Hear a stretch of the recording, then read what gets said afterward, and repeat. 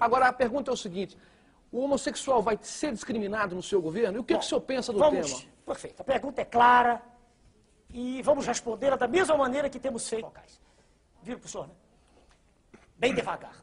O homossexual, sem dúvida, pertence a um grupo, veja o senhor, que se se generalizasse, representaria a extinção da espécie.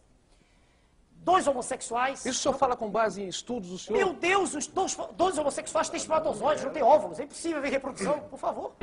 Isso é curso primário, não é ginásio da universidade. Por favor.